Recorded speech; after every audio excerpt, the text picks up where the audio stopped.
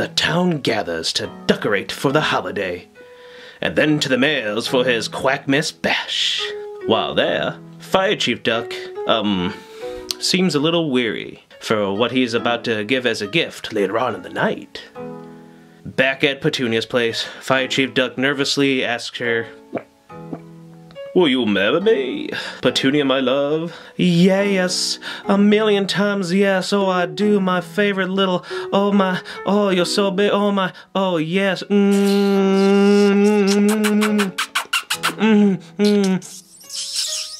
She gives him a big old smooch and says yes. And so they. Oh, my. and again, all is merry and bright in the town of Duck.